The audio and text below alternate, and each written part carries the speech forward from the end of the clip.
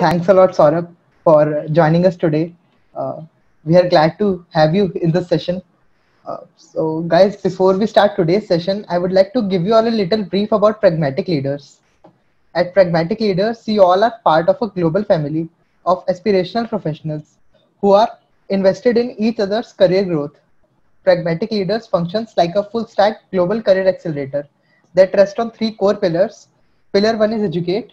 We help you upskill via proven courses and scientifically backed pedagogy. Uh, we do so by our two job guarantee programs designed for folks uh, looking to transition into product role or existing product managers who uh, who are looking to upskill themselves. Uh, we have also recently launched a platform called Pragmatic Live for working professionals to attend live bite-sized interactive classes by industry practitioners under three learning tracks, product, data, and design. So if you want to know more about these uh, courses or classes, you can ping me. Uh, pillar two is engage. We run a global community of product managers on Slack with access to online and offline meetups. I've just shared the link of our Slack community in chat section. Uh, pillar three is employ. Uh, with over 79% placement success and $600,000 of cumulative salary hike, we operate a job platform and dedicated interview preparation courses to help you crack your dream jobs. So, uh, along with the uh, long duration job guarantee programs. So, yeah, with that note, let's begin the session now. Uh, has already joined us, and I hope you all are excited for today's session. Uh, so, Saurabh, I would like you to take over the session from here. Uh, hey everyone. So as uh, Piyush mentioned, uh, my name is Saurabh, and of course, thank you uh, for taking our time. It's a bit late in India also, and for folks who are joining from other places. For me, I mean, uh, the topic is fairly simple. Uh, I don't think uh, it would have something out of the world for you, but uh, these are simple uh, mindfulness learnings I have had in my experience and how these have impacted me to learn better. And we'll quickly jump into what I have done and um, you know if there is uh, anything interesting I have done. So I think it it, it is a very typical uh, story which a lot of especially I can uh, say that a lot of uh, you know young Indians go through. That I went to a college. Um, uh, which was a fashion technology college called NIFT, didn't work out, left in a few days, joined engineering, which is always a default path. Uh, was juggling around few startups, ended up into product management, and has always been studying public policy and law. Uh, and why I'm saying it's a typical Indian story is because a lot of product managers you will talk to, uh, they would come from engineering background, but a lot of them would end up having interest in other fields. And I specifically want to highlight that when you pursue fields like product management, which can often be very generic roles, uh, you would want to have diversity in your thoughts, and that is actually what really makes this role very exciting. I'm working at PayPal right now. It's a payment uh, global payment company. Uh, in uh, you might have seen it in some uh, of the websites in India as an option to pay.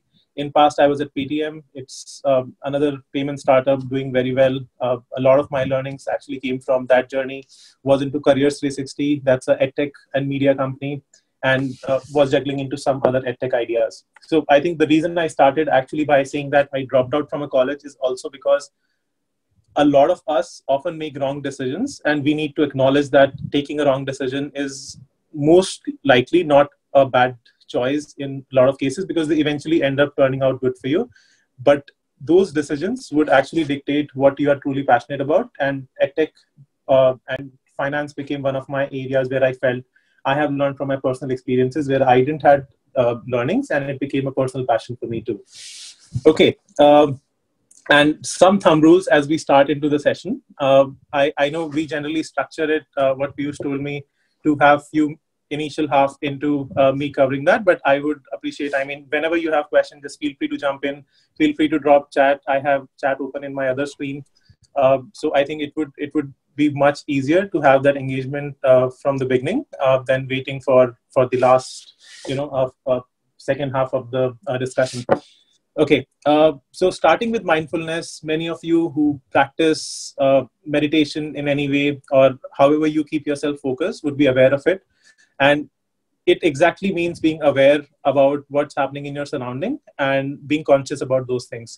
And the reason I bring it up is also because being a product manager, it, it is a challenging role and it can be a very lonely role. Uh, but a lot of responsibility really lies on you. When I say responsibility, it can mean from what you are really delivering to the customer and can also mean you are impacting life of user in very different ways because you are changing their behavior of how they see some of those things and if we look at actions happening in last few months uh, whether you talk about uh, a 20 year old ki- uh, kid killing himself because he saw a balance on a payments app uh, investments app in us or many such examples you see a lot of products do discriminate are not really meeting the standards they should and we need to acknowledge and be aware that what we build is really impacting people just beyond you know being a utility app for them.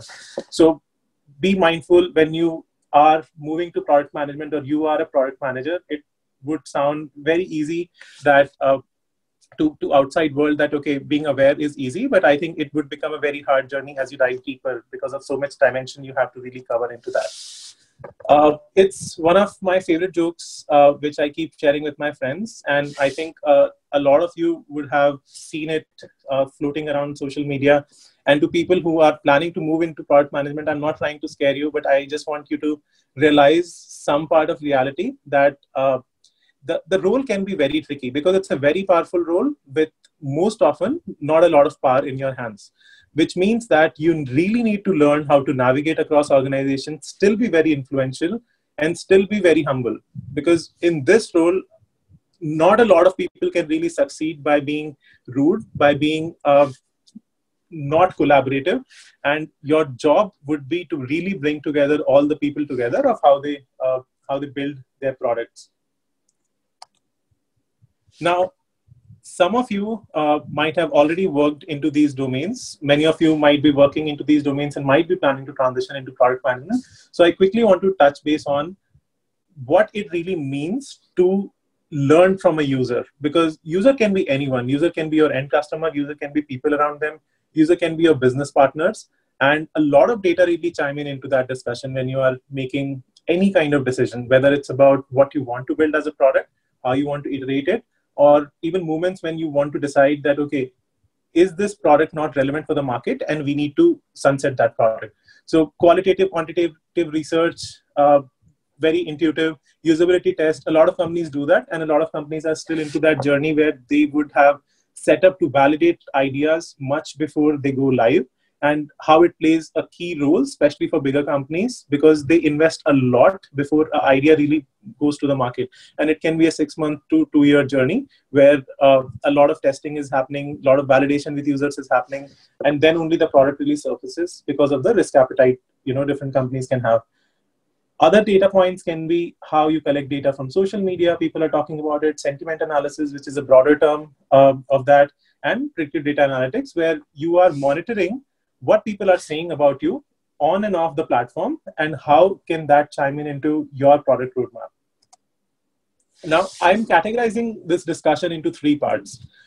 One is what it really means to listen to customers. So we define some ground rules that when i say listen to customer what do i mean? Because then there are some people who say that don't listen to the customer. And we would dive into that that when some people say that what does it really mean and then we would quickly talk about when we don't listen to customer, what can be the consequences. And as product managers, because we are responsible for the growth of product, for the PNL of product, these factors always need to be top of our mind when we are making a decision. And again, it's fine for a decision to be wrong.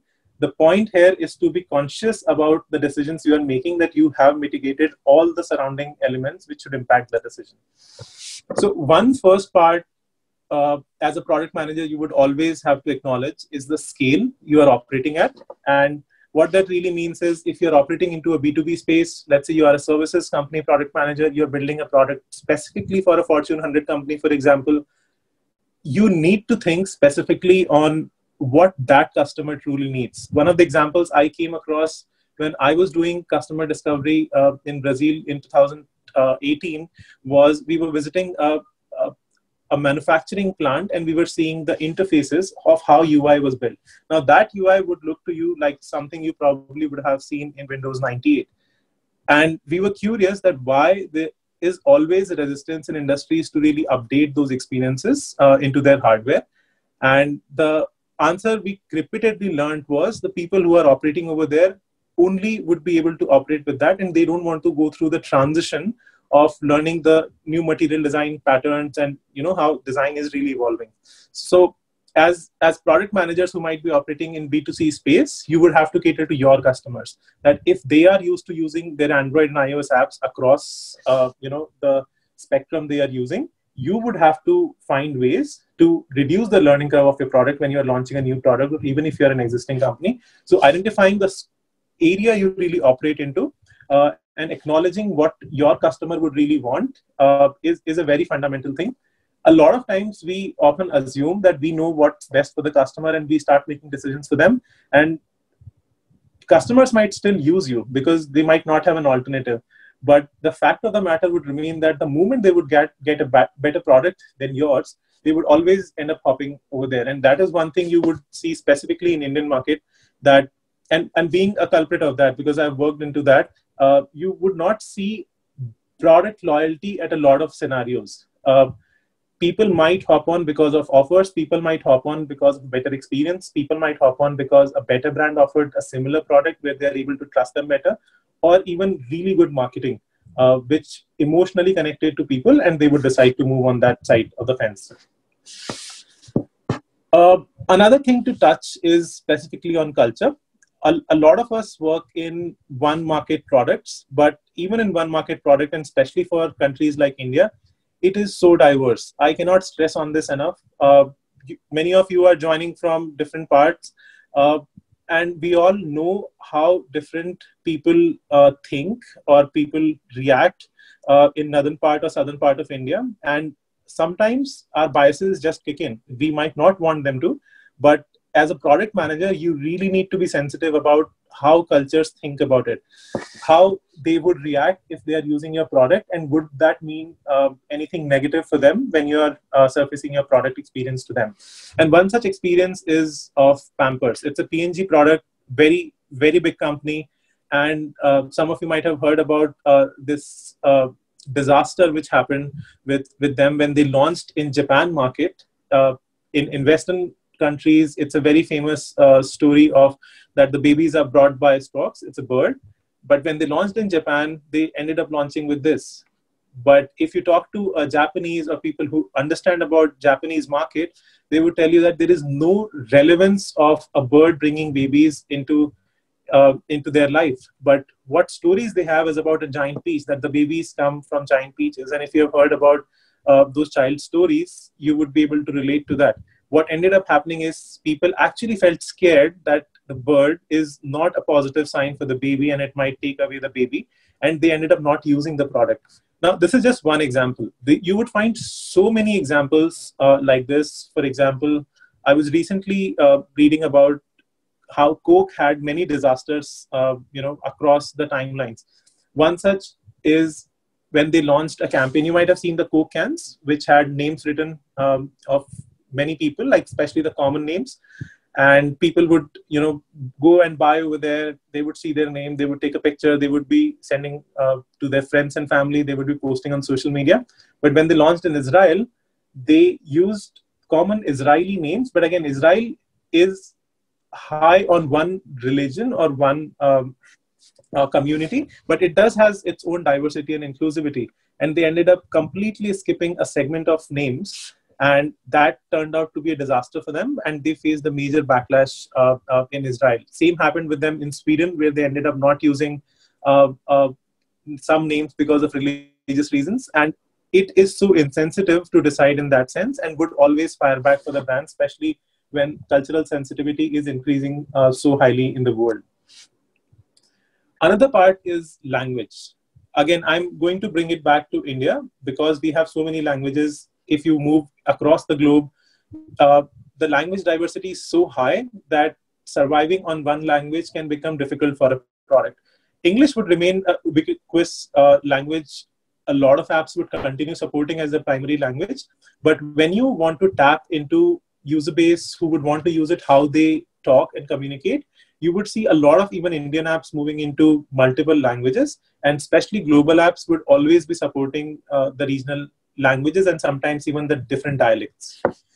One example of that which you guys would have seen often happening is with Arabic. Now, any of you know uh, Arabic or Urdu, you would know that the language is not read uh, very similar to how you read English. It's read from uh, right to left. Uh, now, when Facebook launched this page, they had the similar problem where the translations were done wrong. Some words can end up being insensitive. Uh, even in case of non-Facebook scenarios, there have been cases where multi-country uh, brands have ended up launching a campaign. When people read it in reverse, it had totally different meaning. And again, Coke example you might have um, heard in this scenario also. So I think what I'm coming to is, even though you might not know the language, as a product manager, you should tag team with your product marketing people, your go-to-market people, your research people to identify if you are launching in a different geography that you don't understand, what are the top learnings you need to be aware about that region?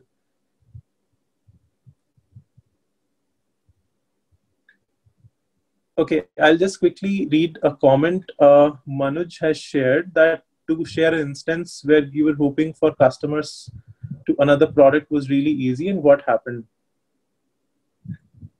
Hey, uh, Manoj, do you mind going unmute and uh, just explaining your question? I was not able to understand. Yeah, hi Pareek, uh, this is Manoj. So uh, I wanted to understand, uh, do you have some examples where uh, you told that uh, you found out that hopping on for customers to another product was really easy? So can you give some instance related to that and what were the learnings around that? And how can we use that further in our product management decisions? Okay, so I'll give my personal example because I don't want to be specific to uh, some brands. Uh, I was always using, for example, Uber in India, and my preference was specifically because of pricing. Uh, if I'm able to find better pricing on Uber, and also more trust I was able to build with the brand. But for a couple of years, when I'm living in uh, Bay Area, uh, I started using Lyft. That is, you can think of it as Ola of US, uh, and I started moving and I hopped on actually to Lyft.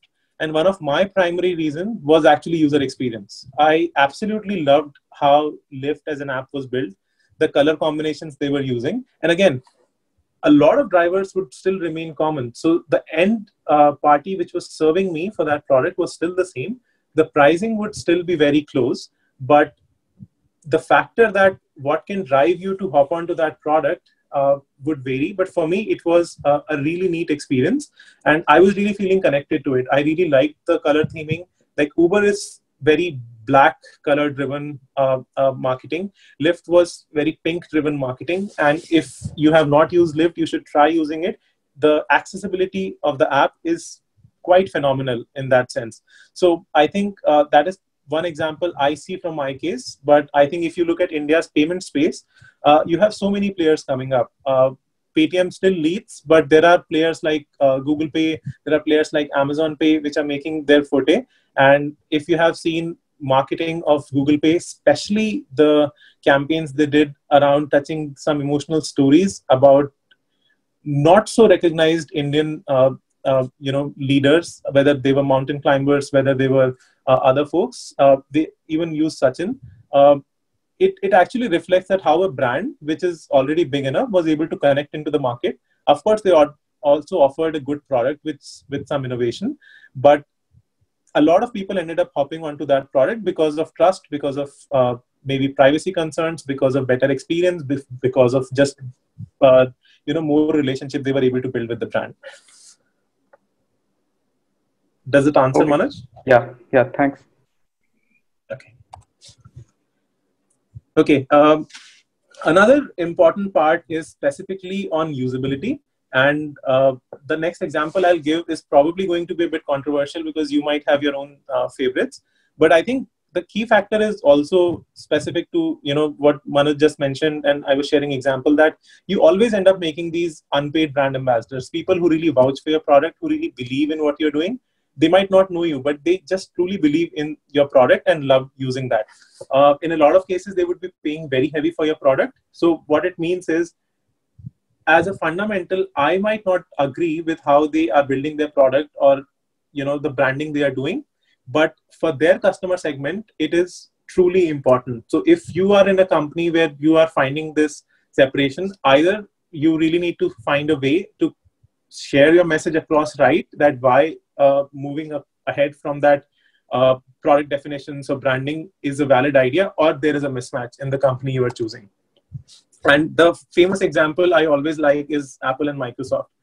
Like microsoft often might not have a loyalist but it has a huge base because of the utility value for money uh, it, it really provides. But if you look at apple there is a portion of people who are adherent supporter. I'm a culprit of that they would always buy these products. They might still be the people who would crib about Apple that they are uh, launching expensive products, they're not making enough product improvements, but you would still end up investing money because of any factor they are solving. Uh, like, for example, for me, Apple is a dumb person's uh, gadget because the learning curve is so simple that even if you don't know a lot about uh, some of the you know functionalities, the onboarding might be easy for you for some people, it might be just the build quality. For some people, it might be privacy.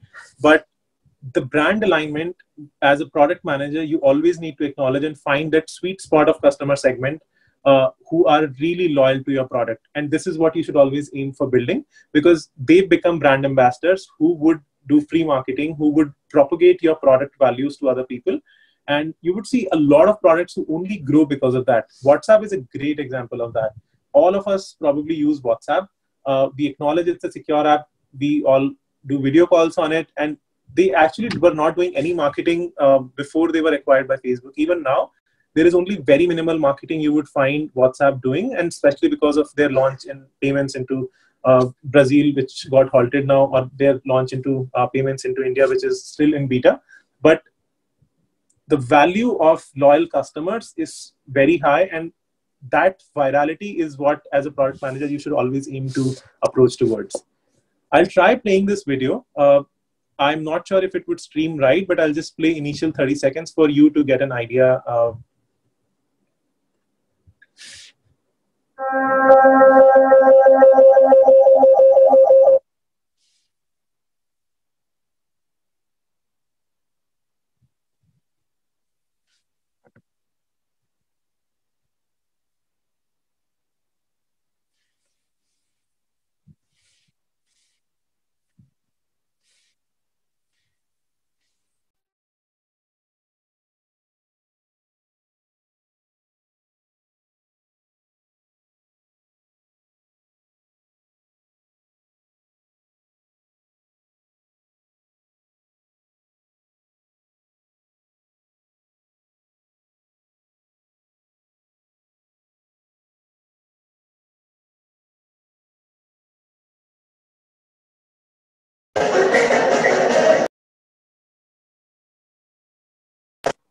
Okay, I think you get the gist of it. Uh, but I think the reason I wanted you to quickly see that is also because uh, when now you are learning a lot about design, we might not acknowledge that uh, the design Microsoft might be adopting is cool because uh, companies like Apple have really succeeded into not using words but using very little amount of words to be so expressive that it would be very powerful.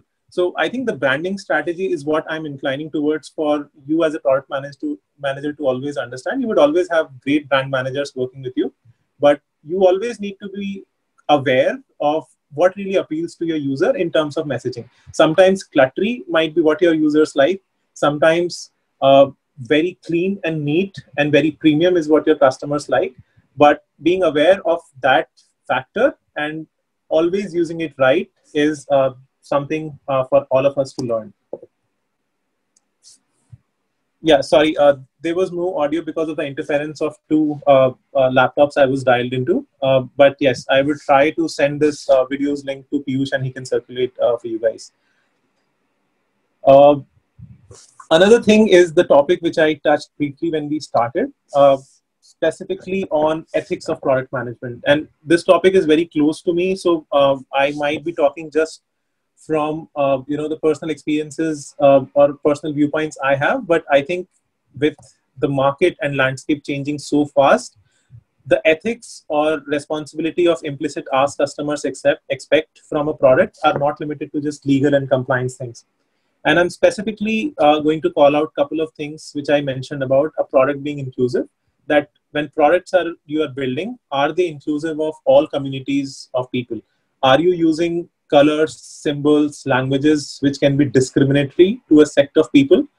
Uh, and you really need to ensure that you are putting a conscious effort towards that. Accessibility is still a factor which a lot of apps don't really focus on. What it means is people who are uh, who don't have ability to see are they still able to use your product and in in a lot of countries it's a legal requirement for your apps to be completely accessible with voiceover with uh, you know uh, other other functionalities and some of these might foray into low priority when you just look at oh it's just 2% of my customer segment oh it's just uh, you know uh, generating uh, 1% of my revenue but i think inclusivity should not be driven by these factors your products, whether it's an app, it's a website, you should always be very conscious to ensure that your products are secure if your customers are expecting it to be. You don't share their information illegally. You are building accessible products and you are not building products that discriminate. And especially with things which are happening, uh, you know, across the globe with multiple brands where because of catering to their 98% of the segment, they are okay to discriminate with 2% of the user base as a product manager, it's your responsibility to voice these things and be that brand ambassador of your own product. Okay. Uh, now, one of the things which I mentioned is about what happens if you don't listen. And I think some things are very intuitive for us. Lack of innovation is one of the most common thing you'll feel across so many companies. So many companies fail because of this. And one example which I always loved, a camera which I have used personally at my home, is uh, Kodak. Kodak was very similar to how Xerox is. Like uh, for photocopy, when Xerox became a word, Kodak was one such uh, word which really get, got inculcated into minds of people.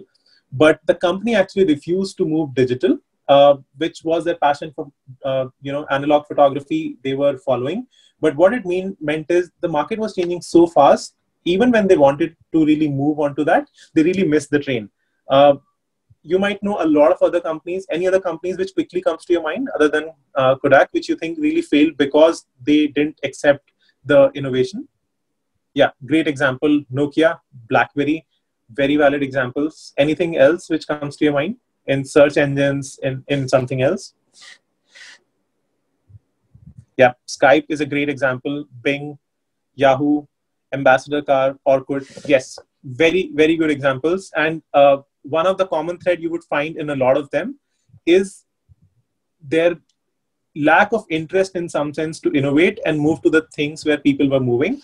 And what i'm inferring with that is as a product manager one place where you should always invest a lot of time is just getting to know what's happening across the industry. If industry is moving towards you know uh, ai or ml again i'm not saying use it as a buzzword just to sell your product better but what you need to be conscious about is what value can these products really bring what technologies you really need to use to have a great product experience. It can also mean being aware of other technologies which are coming which may not directly impact you. Let's say uh, vr for example. Are you aware of any consequences that technology becoming uh, accessible to a lot of people would have on your product? If yes then you should start thinking about it. And you should always have a viewpoint on at what point you would want to move on to that.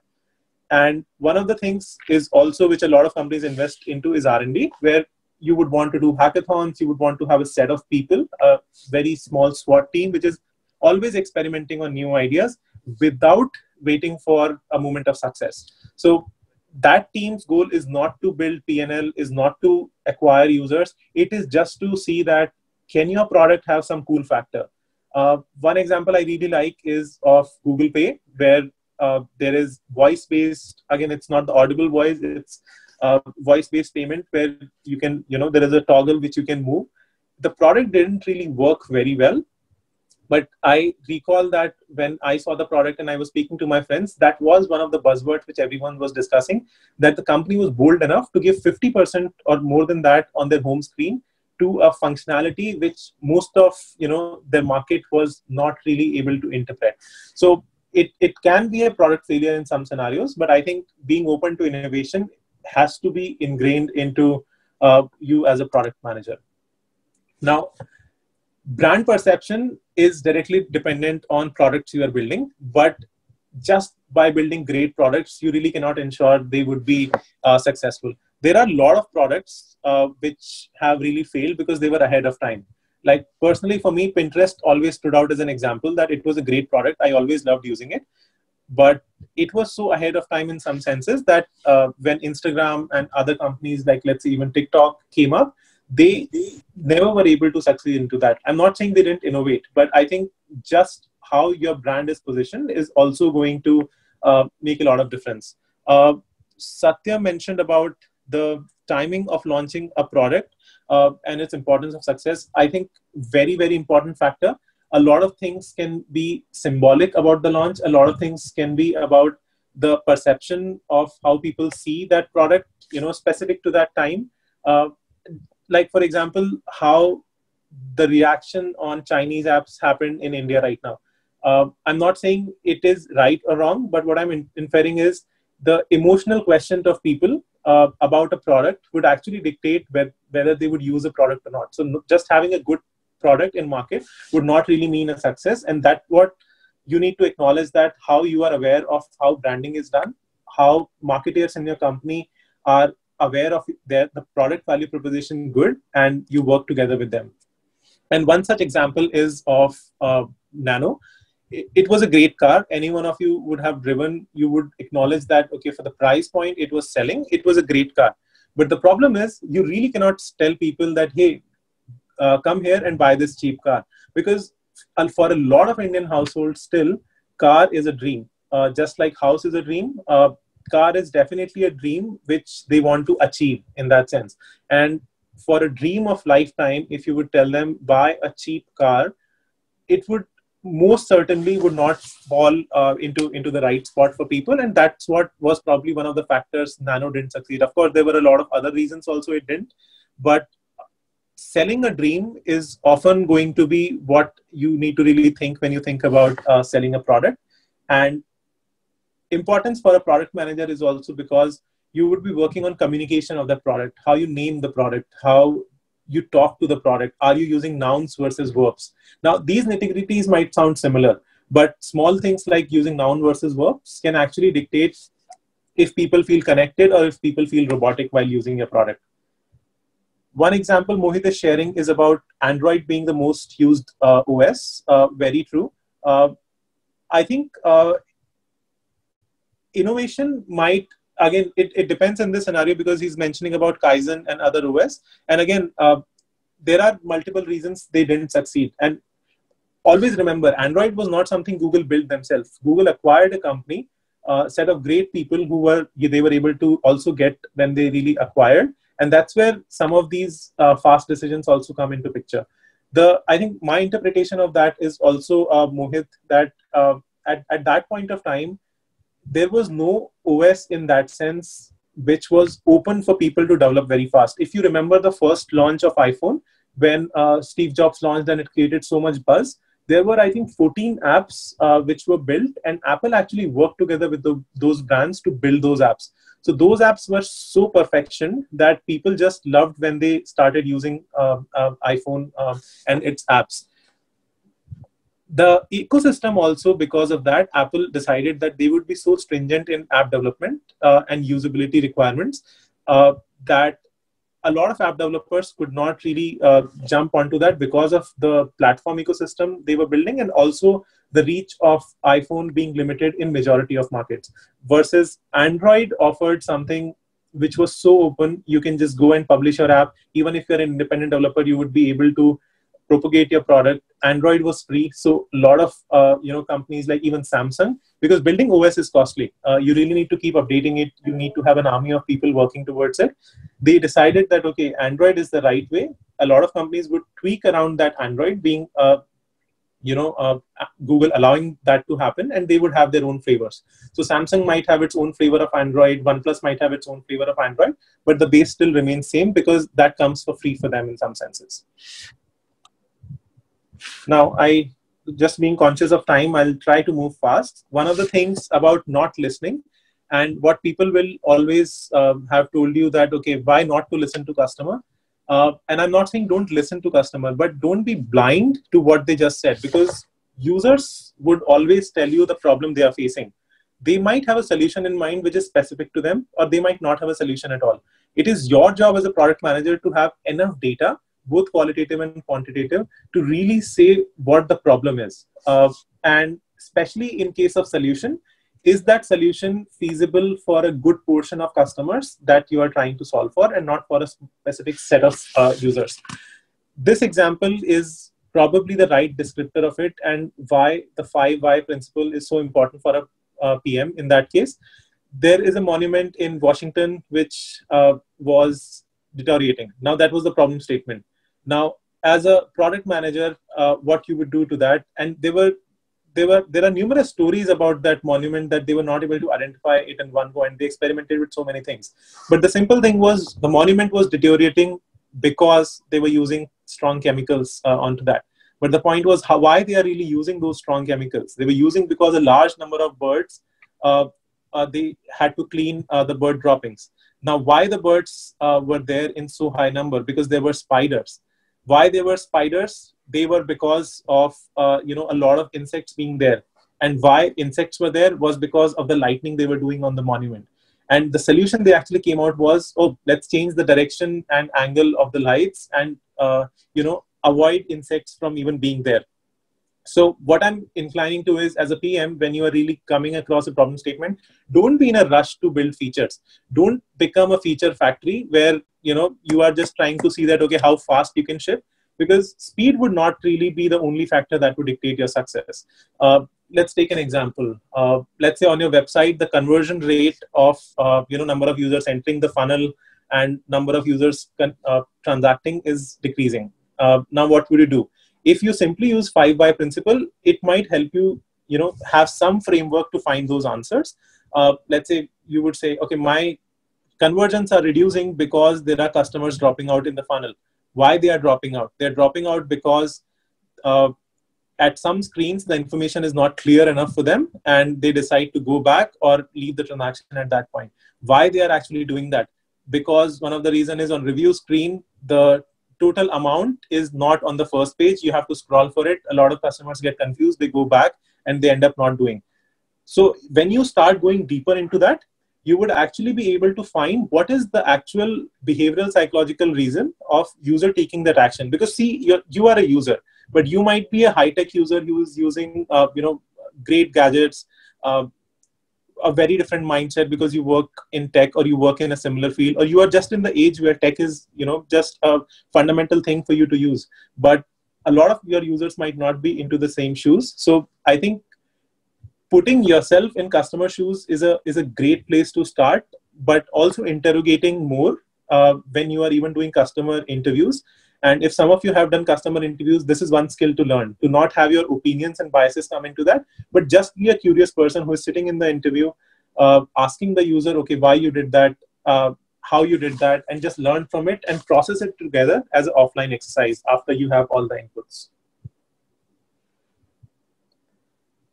Uh, okay, uh, I will quickly touch on the point Akshat is making about public policy, why I was interested into that.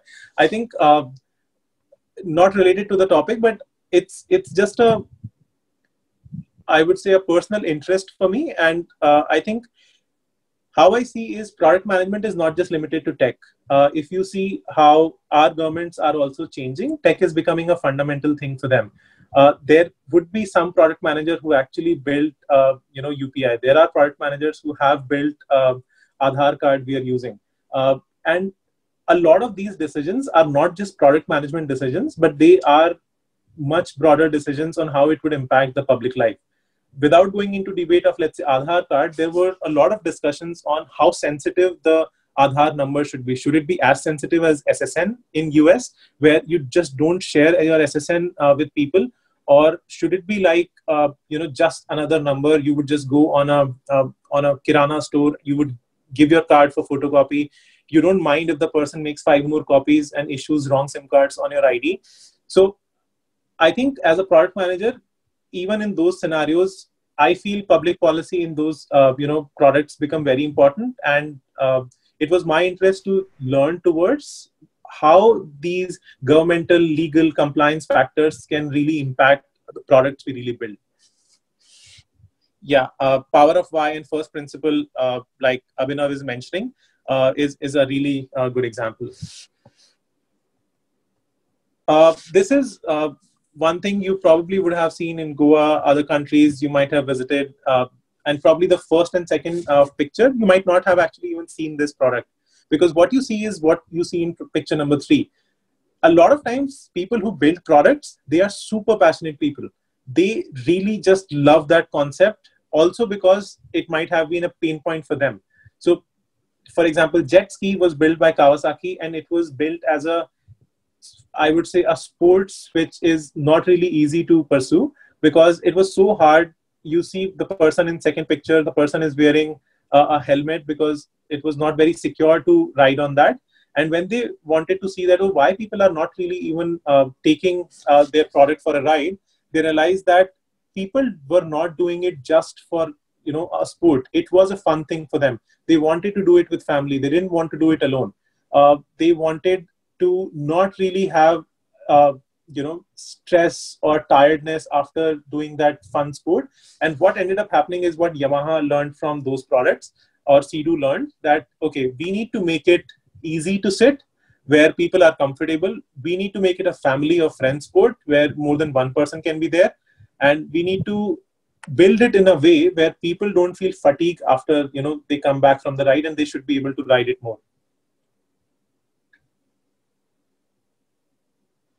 Okay uh, i don't see the name but uh, the comment is how do you come across the necessary information regarding regulations? Any databases or websites? Uh, for me i personally always refer to the official websites or you know some official credible sources uh, which i think you all can easily identify when you search for that. One of the easy way to keep on track is also you know just being uh, a subscriber of for example for me reddit really helps for me techcrunch really helps. And if you're working in a specific market you would end up diving deeper into those things. So for example if you're working into uh, indian payment space you have to know how government is changing the regulations about let's say how data localization has to happen for international companies, uh, how uh, you know the the consumer data has to be collected, what information can really be collected, is KYC going to be mandatory, can you do KYC with your Aadhaar card number or not? So those all factors you would have to deep dive as a product manager, but I think uh, not a specific website, but whatever market you're working on, I think uh, you would find good credible news sources which would be able to uh, give you that information.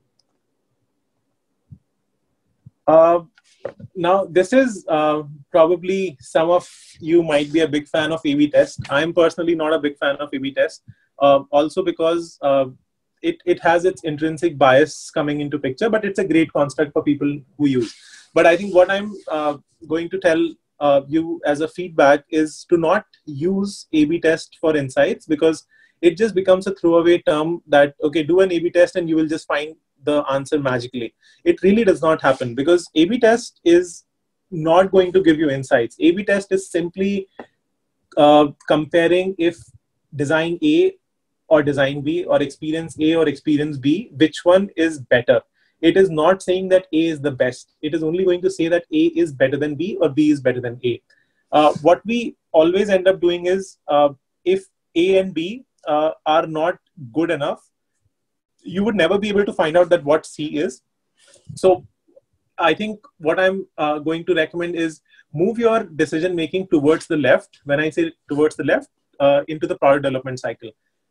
Testing with users is a great idea, but sometimes you don't really need to make the products live in all examples. That's where usability testing, that's where interviewing your customers very well, that's where being conscious about, even if you're sitting in an Uber, being really getting to know that how that Uber driver thinks, what are the pain points, are they getting paid out on time, are they moving to Ola because of let's say payouts, because of you know customer support uh, or anything else, uh, would really help. So do A/B tests, but be conscious that before you do A/B tests, you have really validated it enough with uh, users using prototypes, using customer interviews, and using you know so many other uh, quantitative surveys you can conduct with uh, users.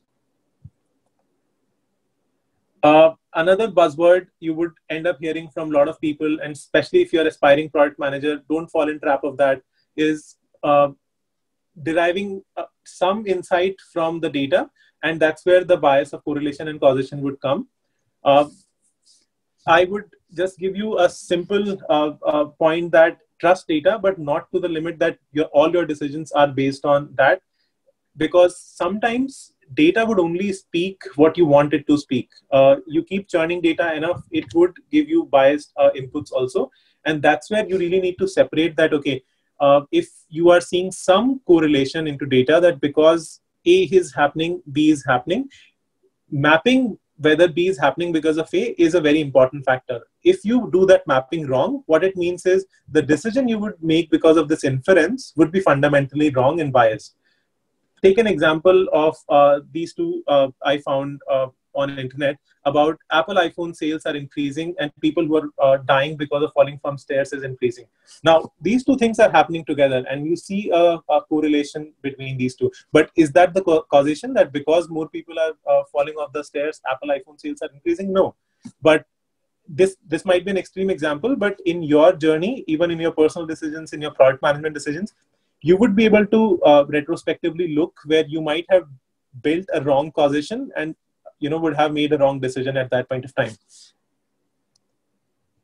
So i think uh, i'll finish with this. I think in summary three recommendations especially if you are an aspiring product manager that pay attention. Uh, product management is uh, not a domain where you can just be a, a, you know expert of one domain. There are going to be people uh, who are super experts in one domain, let's say compliance of payments.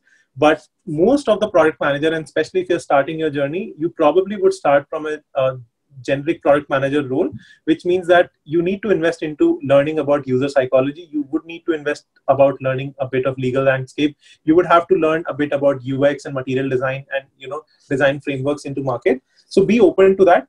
Uh, based on your role, always pick up something to learn, which would help you for your next role better.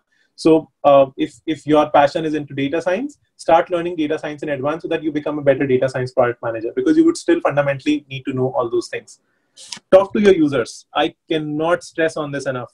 Uh, a lot of product managers end up becoming feature factory because of what is being told uh, uh, to them and they end up doing that. But one of the change which would really come into your product management experience and honestly for your company also even if your company is resistant to it right now be a mouthpiece of that that you need to talk to your users. Whether it's a formal setup where you're doing interviews whether it's informally you're collecting information from your friends family unknown people but talk to users. You would really get to know so much from them uh, and most of your product ideas would start coming from them uh, so invest time into that exercise and I'm, I'm pretty sure it would uh, add a lot of value uh, to you.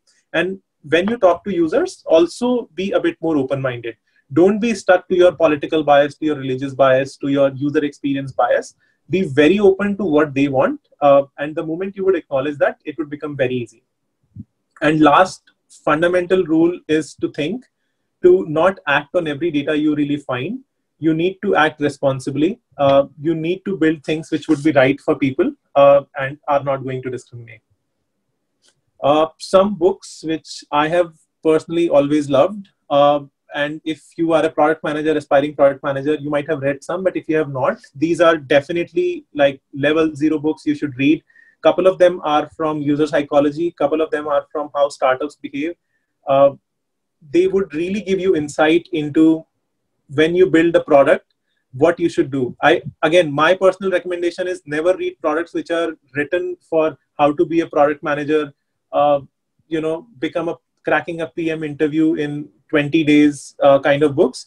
I would recommend you to read these books because they would actually give you a framework in your mind on how you think. And what you want to change is how you think and how you process information not some cheat code where you just you know prepare into some things and do that um, so yeah i mean read the books which you have not read. Uh, and yeah, if I've bored you already and you are already planning to drop out, here is a puppy because someone told me, okay, cute puppies always cheer people up. Uh, so that's something you can definitely feel happy about. And yeah, any questions you have, reach out to me. Uh, this is my personal email ID. Anything I can help you uh, in, you know, from my experience, uh, we are on like all of us are in uh, together into this. So anything I can help you, uh, don't be hesitant. Just reach out to me. Yeah, that was all I had. Um, thank you. There were some questions which you shared. We can either jump on that, or if you guys have something, just unmute yourself and we can discuss. I think discussing would be much better. I have removed names from here just to be cognizant if people don't want to share the names. Uh, but yes, if you are comfortable, you can just uh, unmute yourself.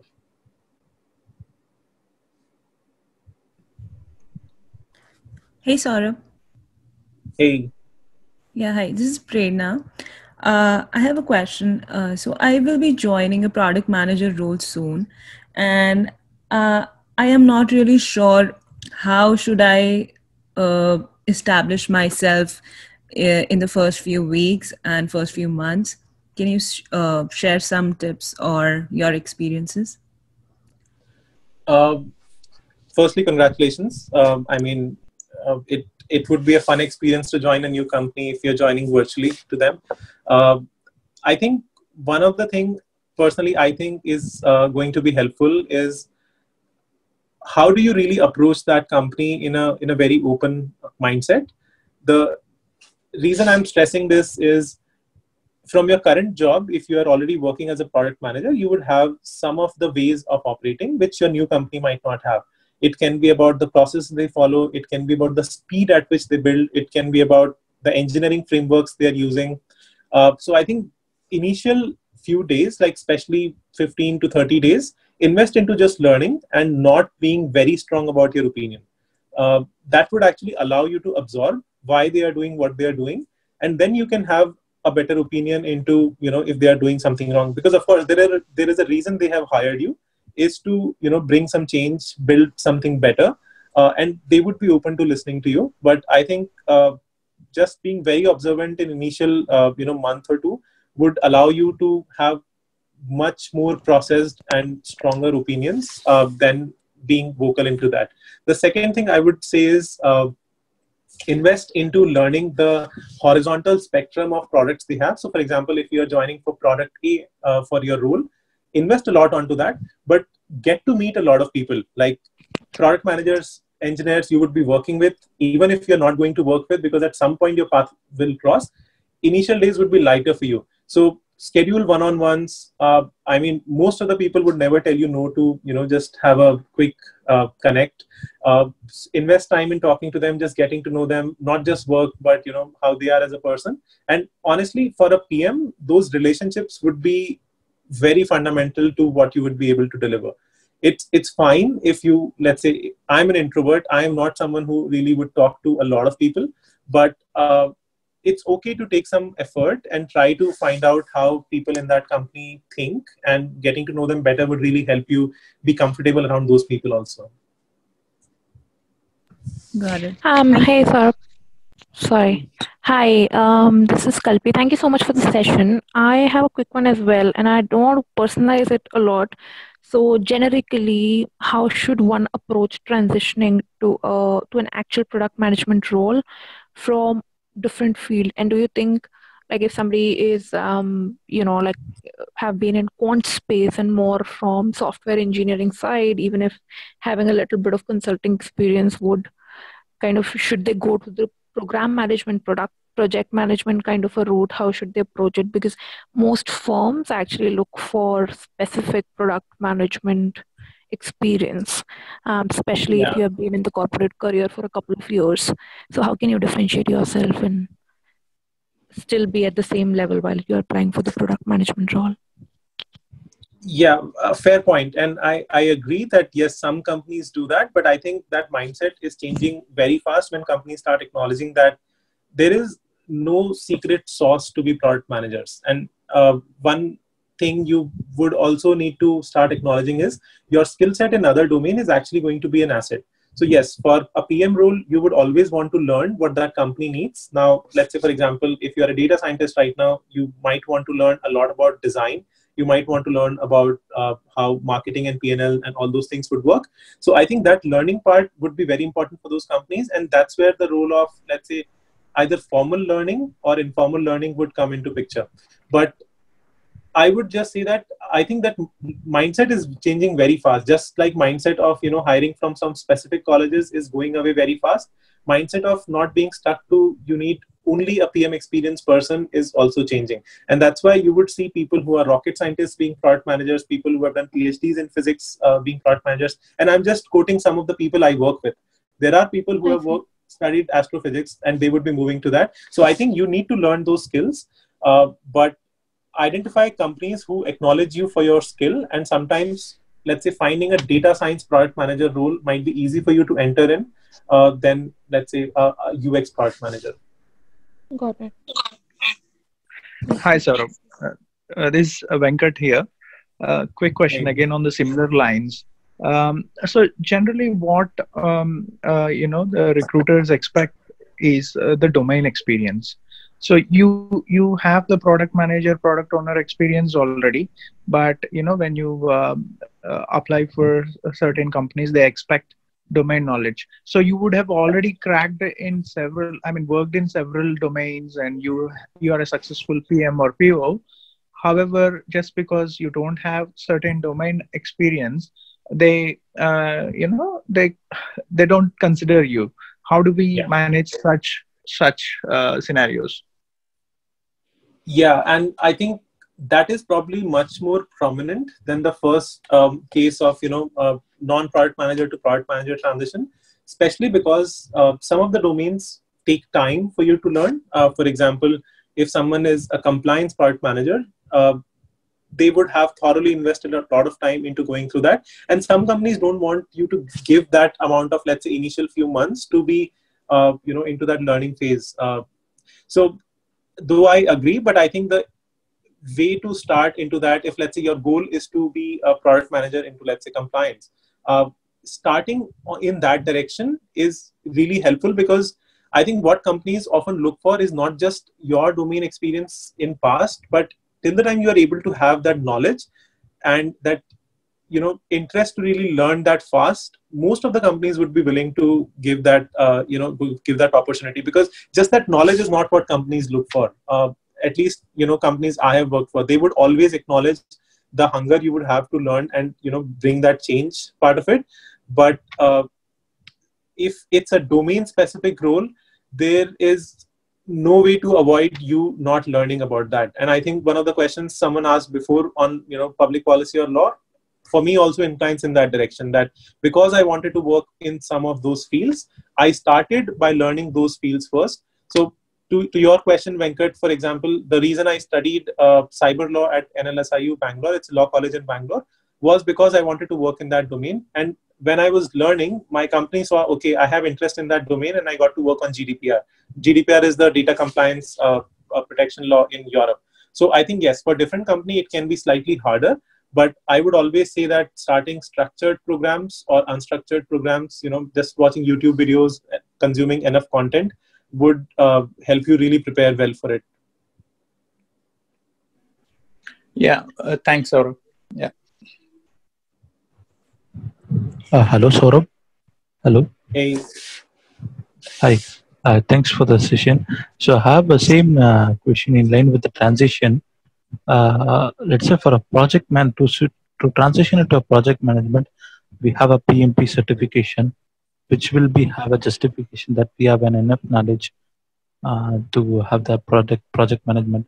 In case of product management, uh, what kind of justification we can give or uh, to get into a role, kind of a product owner or a product uh, manager? So i mean uh, are you referring to the learning path the yeah the learning yes exactly. Exactly the learning path. Let's say i'm working in a in one of the product company uh, where uh, uh, where from my current position to the product management will be like uh, you know it will be like a difficult uh, difficult thing as it is like uh, we have a three to four steps away.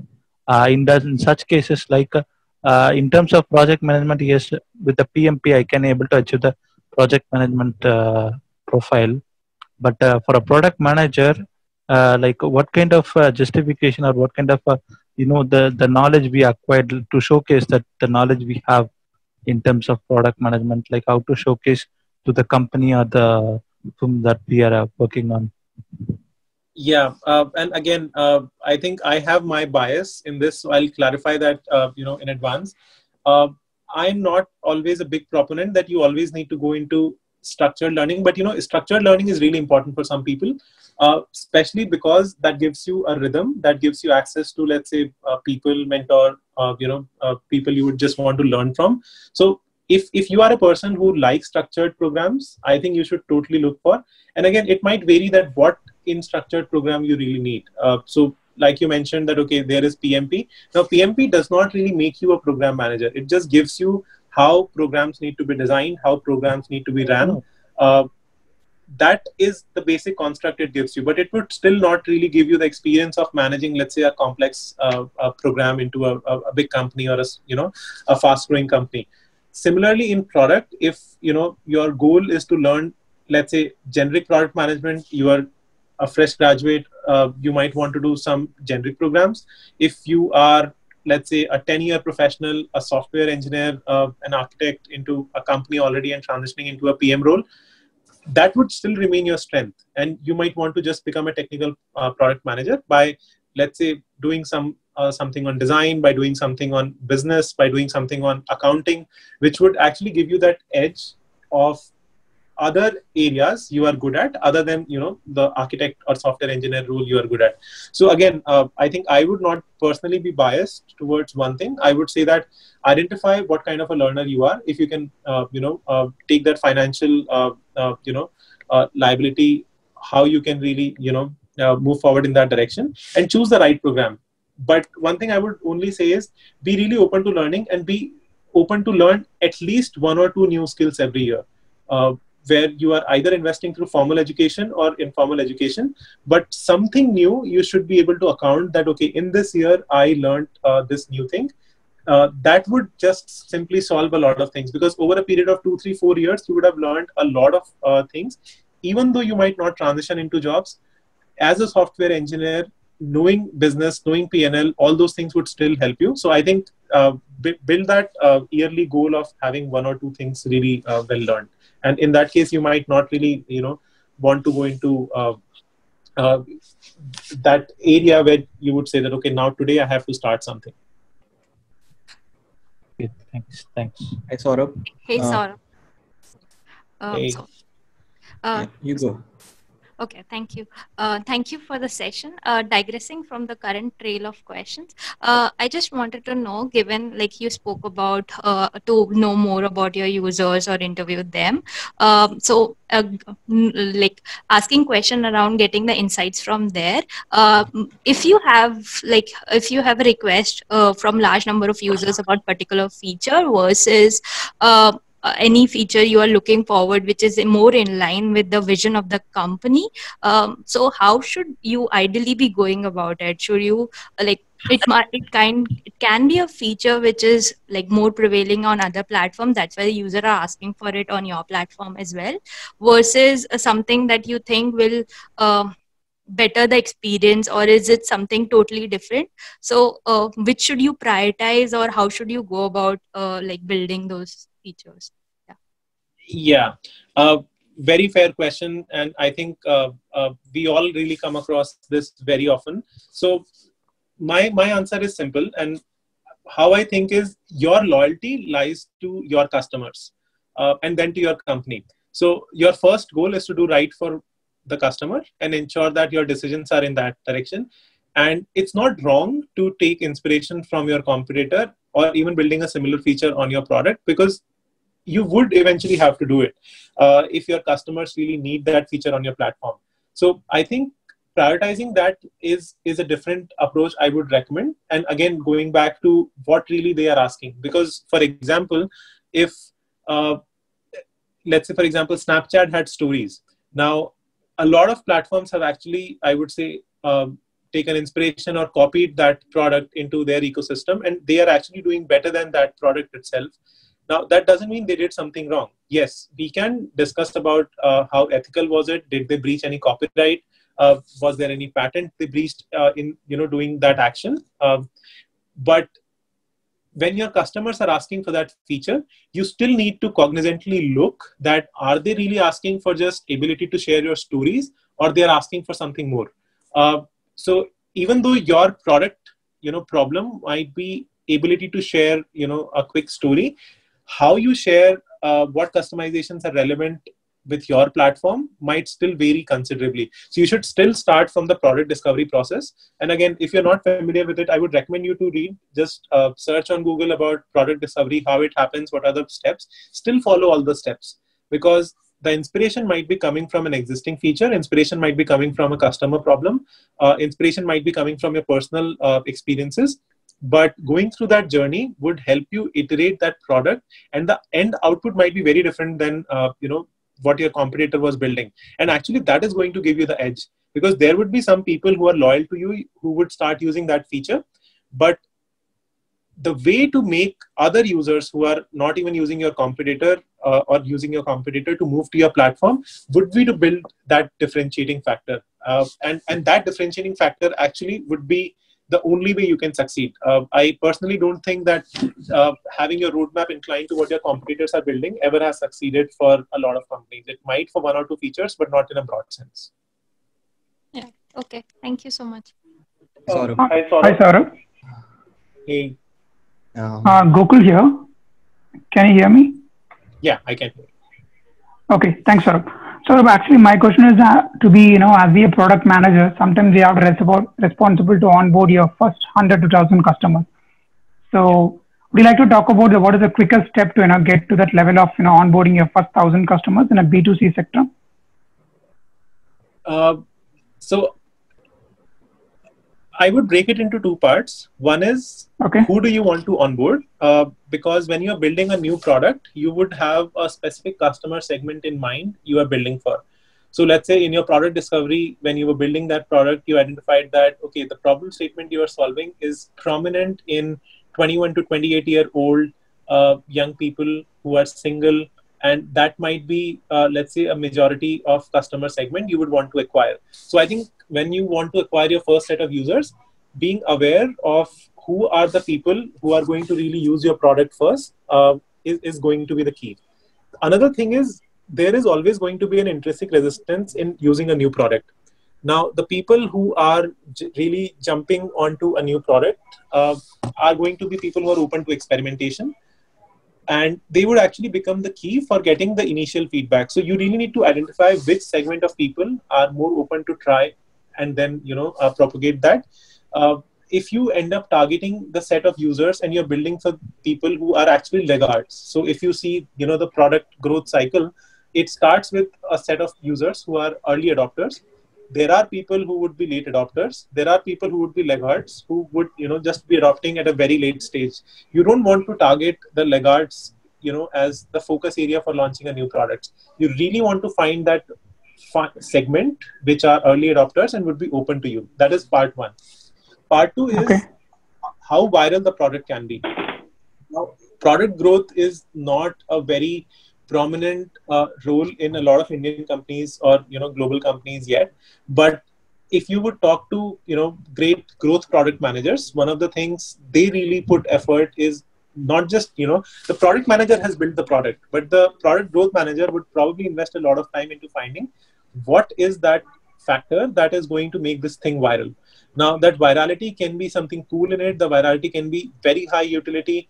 Uh, it can be the messaging. It can be the emotional connect. It can be the branding, uh, or you know, it can be just offers. How you give offers to people, uh, because just giving cash back giving money back to user, uh, in some senses might work, but it's not a sustainable way.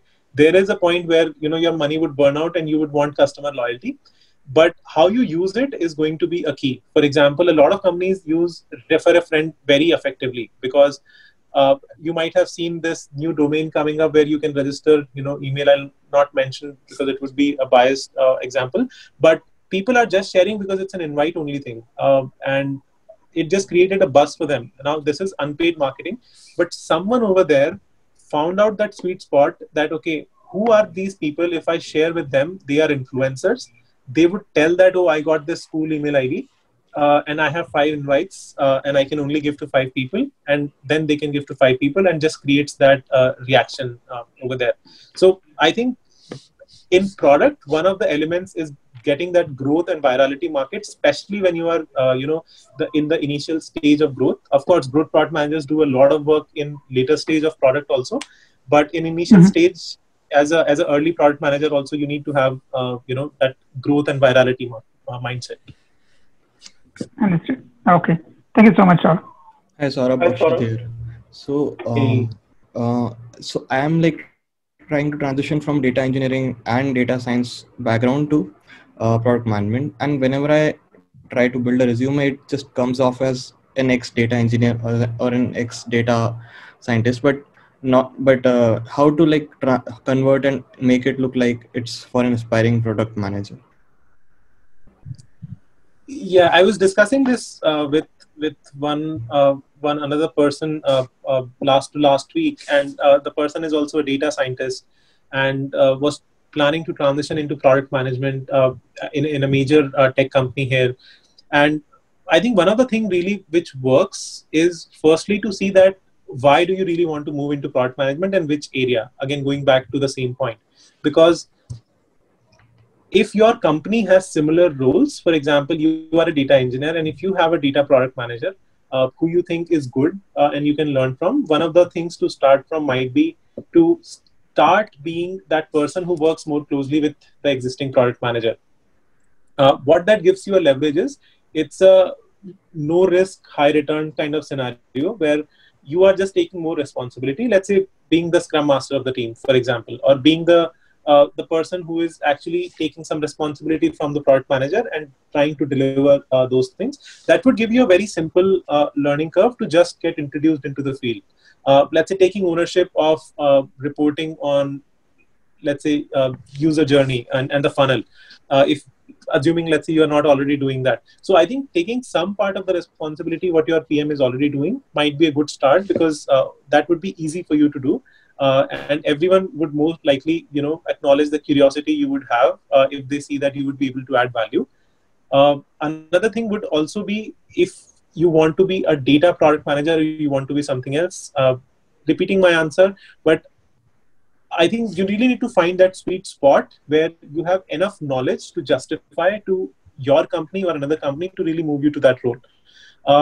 And that makes that decision easy. Your company would be able to trust you more but for an external company they would want to see that passion see that you know base of knowledge which they think they can build on. Because a lot of startups don't really always hire uh, existing product managers they just want right people. They want people who fit into their culture. They want people who would learn on the go and who just have passion for that domain. For example when i joined my first company careers 360 it is into edtech uh, space. I was not really a product manager before.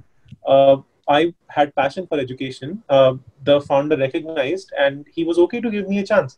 And I'm sure you would be able to find uh, your, you know, that area you really want to move into. But don't keep a generic statement that uh, in, when you even make your plan that okay, to be a product manager, be a bit more specific. That okay, what are the areas uh, you would want to be in? And one of the models which really helps is Ikigai.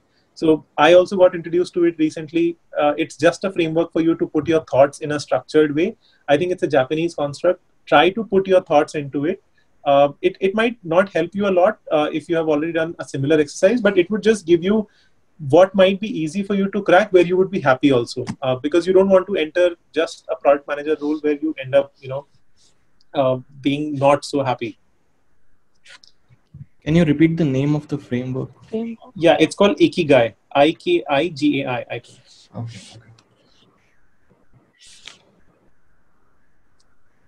Thank you. Uh, hi, Saurabh. Hey. Hi, Mohit here. Uh, Saurabh, so I actually work for a B2B company where uh, uh, we need to make a business case in, uh, in relation with the customer and give the uh, handle the requirements. So I just want to understand if I'm working in a B2C company and uh, how do I, is there any way to quantify the mindfulness that when do I know that I need to launch the first MVP of the product and it is enough, it is enough requirement and data with me that I can work on it to launch it in the market. Uh, you said it's a B2B product? No, it's a B2C product. Okay, B2C.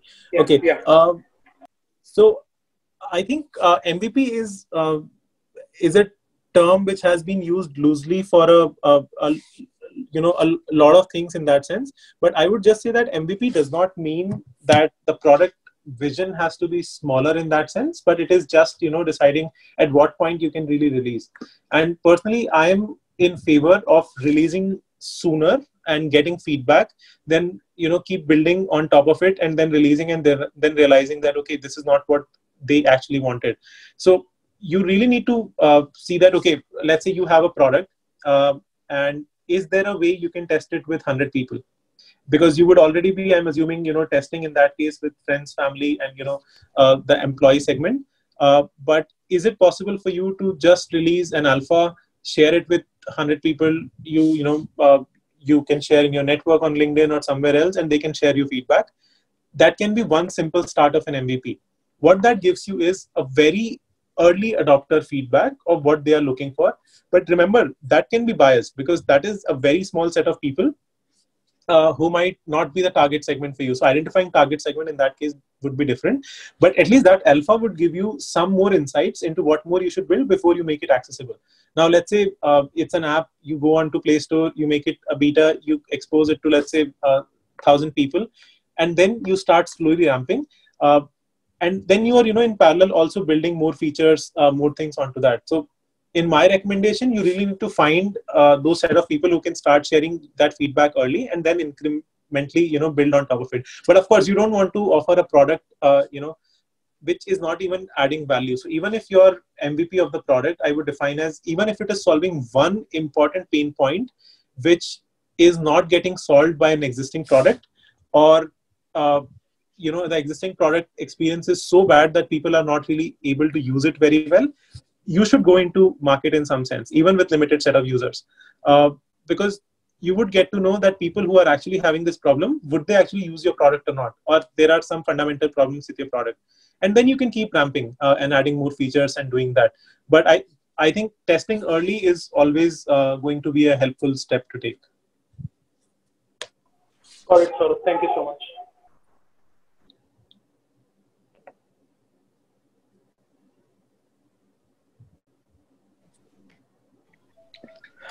Saurabh, one question. So I, I think you must have uh, uh, involved in uh, several product launches. So yes. what are the kind of challenges that you you have faced, and how did you handle them? Uh, probably a couple of them. Uh, I think uh, the launch structure would vary. I'm just thinking of an example which I can use, but So, okay, so let me take uh, an example without um, quoting the specifics. Uh, often what happens in the go-to-market strategy is we end up not really accounting for a lot of factors in advance. And uh, the scale of what the product is really capable of, if you have not defined those things in advance, the judgment of go-to-market and product launch would most likely be uh, wrong. And I would just touch on the next question, which uh, someone else had in uh, in, in the sheet specifically on at what point you really define the KPIs of product. And that probably for me personally relates to the product launch success or failure, especially when you are designing even, you know, the basic PRD of the product, what you want, you would define some KPIs, how you would measure who you are targeting to, uh, even though you might not know the exact quantification of the KPI, but you would still have some goals that, okay, at 20% ramp, I want to reach out to 2 million users and have at least 10% signups. Uh, and of course, there would be some data backing up that, okay, why 10% conversion and, you know, why exposing to 20% people at this point of time.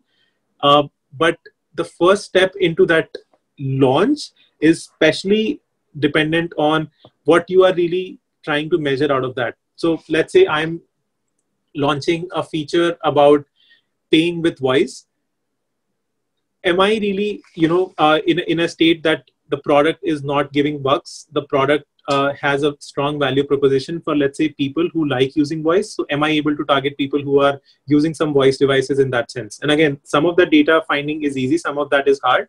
But uh, to, to me, that product plan especially becomes a three part step. One, what is the KPI I'm trying to meet? Uh, have I defined those KPIs enough that okay, uh, in in terms of time frame, how much I'm trying to achieve? The another part of that is when do I launch? Uh, what is the timing of it? Where all do I launch? And how do I reach out to people? Like, do I just release it on my platform? Do I do some marketing of it? Uh, do I give some incentives to people to use it? And that has to be specced out at, at a go to market plan level. The third thing is how you really track those things. Now, when I say tracking, uh, it of course would be corresponding to that uh, KPIs uh, you would have defined, but it also is using that feedback very quickly to put it back into your product backlog and iterating on it fast. Because especially in go-to-market launches, you would not just launch a feature completely to 100%. And if you are doing it, uh, probably you know you might want to look at if you want to adopt a better ramping strategy because if you expose something to too many people together they might end up making a perception and uh, you would want to learn from them reiterate on them and then you know ensure that when you go to a broader segment you are able to drive very positive sentiments into it now whether you drive the initial positive sentiment with or without rewards incentives with virality without virality all those factors probably would become a reason at what stage you ramp further. So you need to have gating criteria that, okay, from 10% to 20%, I would ramp when I'm meeting these kind of results. And if I'm not meeting, I would reiterate on it and I would, uh, you know, make some changes to, to that.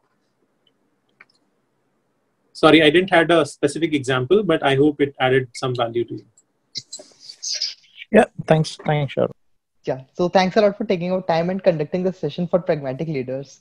I'm sure everyone would have some concrete takeaways from this session. Uh, lastly, I would like to thank all the participants for taking out time and uh, staying with us.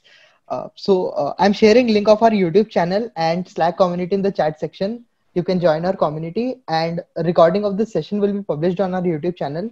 I'll share link with you uh, on Slack once it's live. So yeah, that's all from my end.